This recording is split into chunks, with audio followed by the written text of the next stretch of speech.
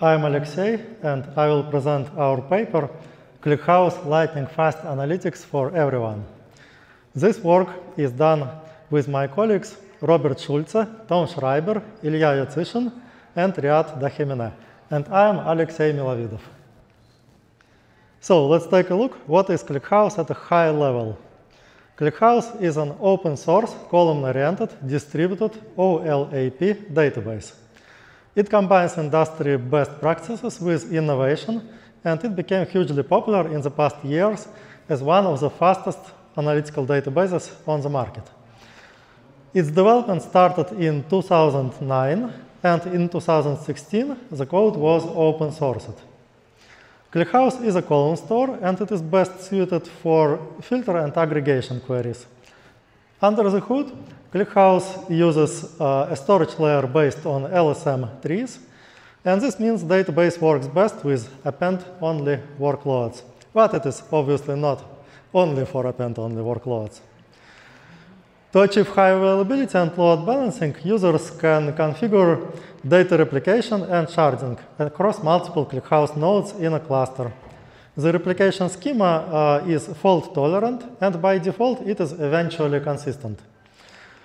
Uh, our users deploy ClickHouse uh, whenever data set uh, our data sets are huge and performance is critical. And common use cases include business intelligence, logs and event analysis, real-time dashboards, interactive data exploration. So the key feature of ClickHouse is its high performance. In our paper, we compared hold and cold runtimes on the ClickBench for seven popular analytical databases. And ClickBench is a benchmark containing 42 real-world reporting queries extracted for, from one of web analytics uh, platforms. And we show hot and cold runtimes on this chart. Lower numbers are better.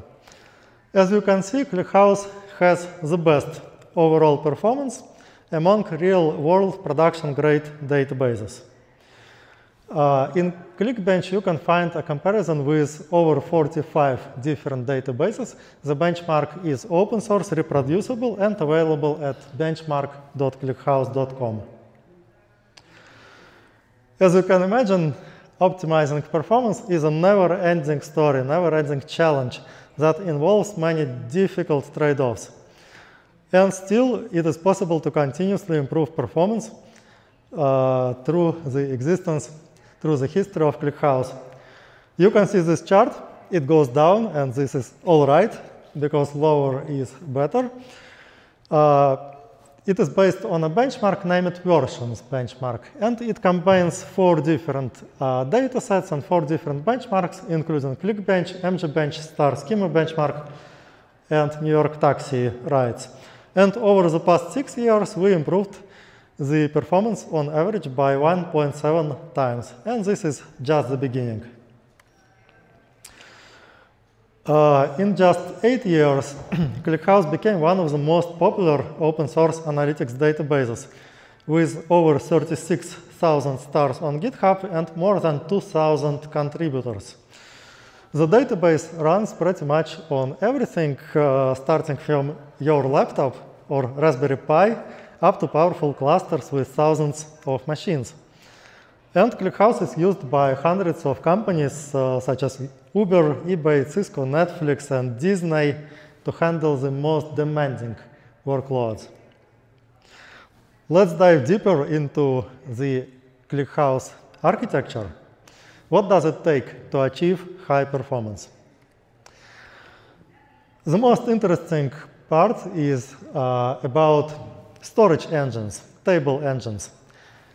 Table engines encapsulate the location and format of table data. And we can uh, divide table engines into three categories. First, uh, the main category, uh, the main type is merge tree table engine. It represents the native storage format for ClickHouse on disk or in external storage. I will tell about it uh, on one of next slides.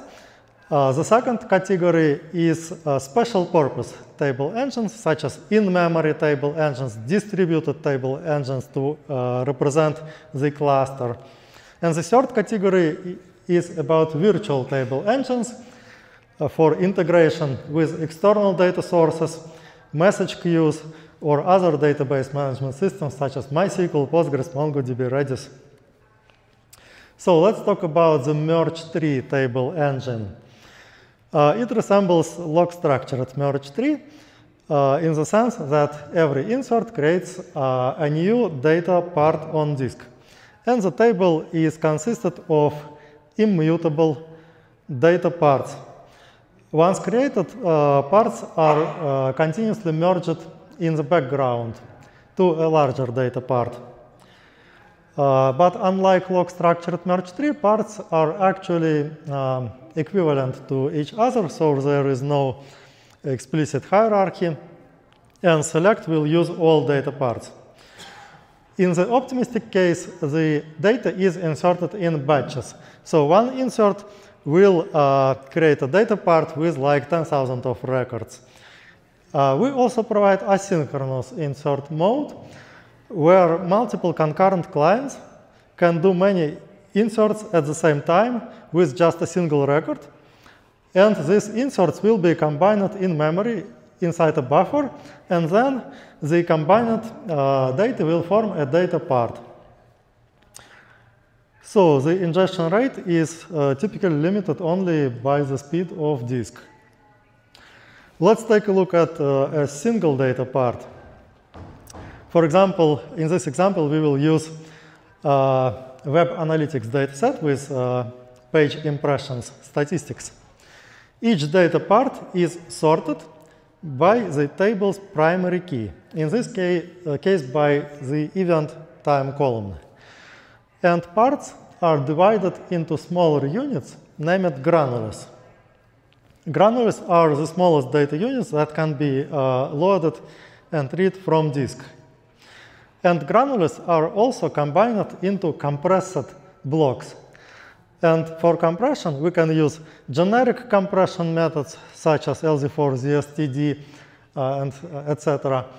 Uh, various uh, logical compression codecs like Delta, GCD, greatest common uh, denominator, and specialized compression codecs such as Gorilla for time series or encryption codecs etc.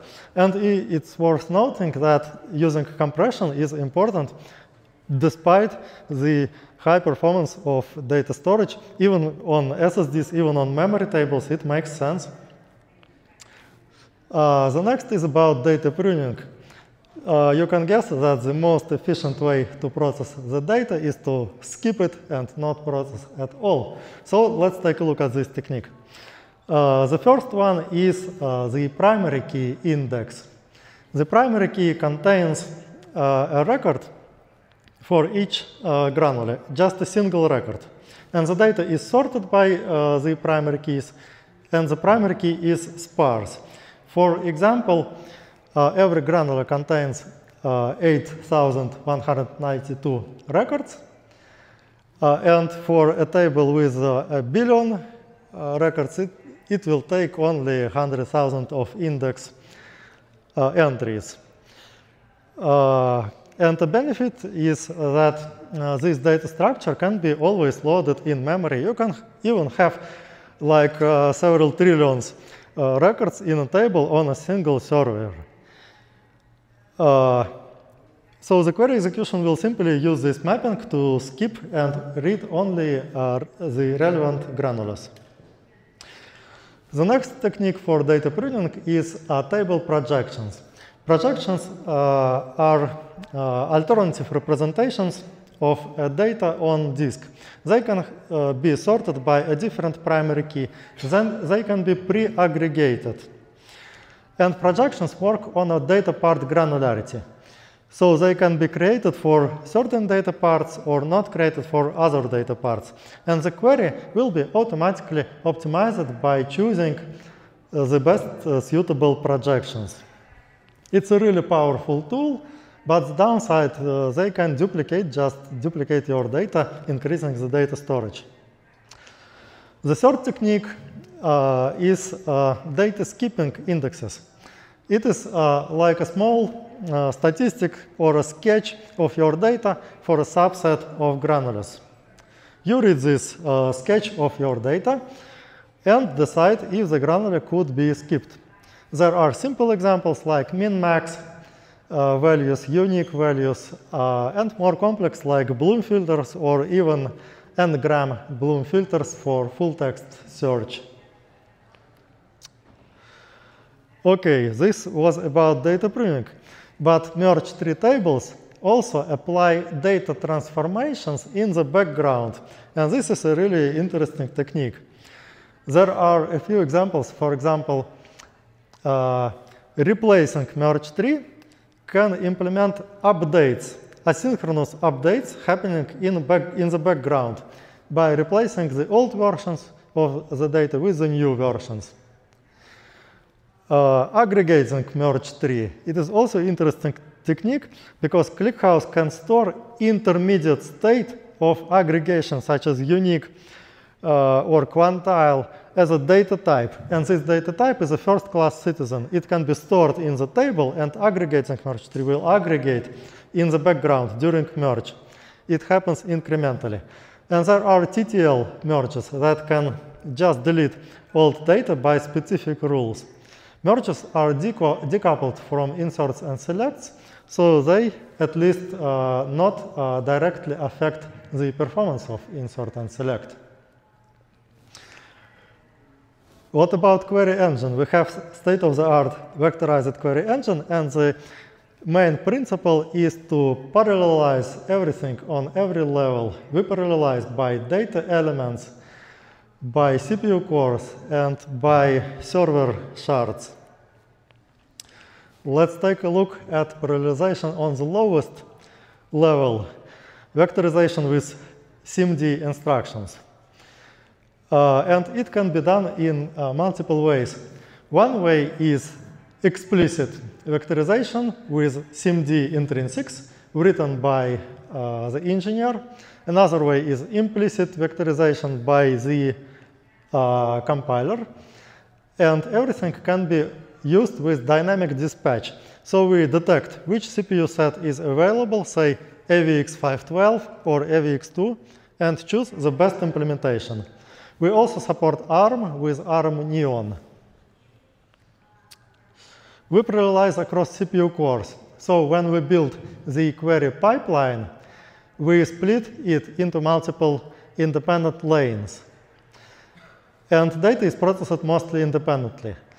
Uh, in the middle, we uh, might need to repartition the data if the uh, distribution of the data between lanes is non-uniform. But typically, the number of lanes is just as the number of CPU cores. And we parallelize across uh, multiple servers for distributed data processing. The initiator node pushes as much work as possible to the other nodes, depending on the query plan, and combines the results. Uh, so processing capacity can be scaled horizontally by adding more cluster nodes. So you can find more details in our paper, interesting low-level optimizations. And I advise you to read uh, the paper, to read the source code, to be among 2,000 contributors. Maybe you want to be 2,000 first contributor. Thank you. Use ClickHouse. Thank you for your time.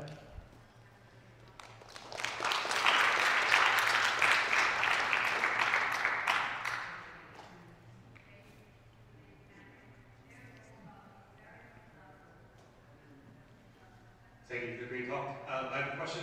The uh, earlier part of the talk where you talk about uh, merging smaller parts into larger parts, is that done on the same node as the node that's processing the, the queries? And if that's the case, then how do you handle the contention of the resources?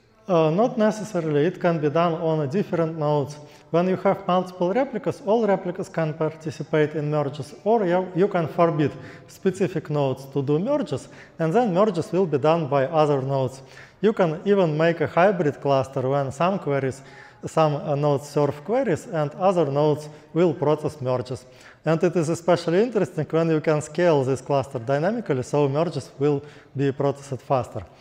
But by default, they will just uh, compete. Uh, if they happen on the same node, they will compete for resources. Uh, and if you only offer eventual consistency, then, then if only part of the cluster is performing this, this merging operation, how do you make sure that the results of these replicas can be applied to the other nodes in the cluster that were not you know, selected for the merging? Uh, first of all, it is not only eventual consistency, but let's assume that we do merges independently on each server. When you do a select query, this query will take a snapshot of the set of data parts and uh, use this snapshot for select. Until select will end, these data parts will leave. All data parts are immutable, so merges are only creating new data parts and then atomically swap these data parts in the uh, actual snapshot. Uh, yeah, and we offer not only eventual consistency, you can enable quorum inserts, and also there is a mode of operation with shared storage. And with shared storage, you get immediate uh, consistency when all replicas immediately see the, uh, uh, the new data. Got it. Thank you.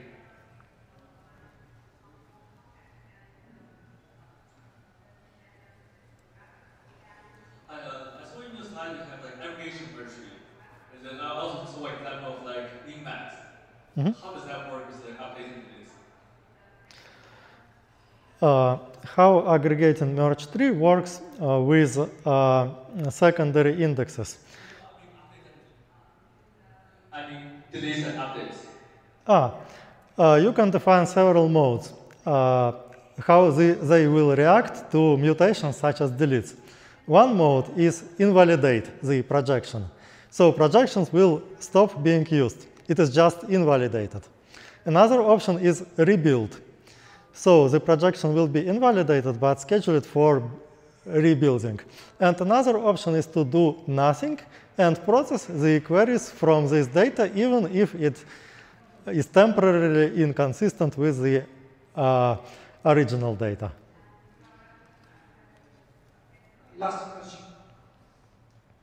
Thanks, uh, very, very interesting talk. Um, actually, I have two questions if we have time. But the first one is, uh, I'm curious about the vectorization part. Are you saying that you can sort of dynamically dispatch based on the, CPU type or instruction set available?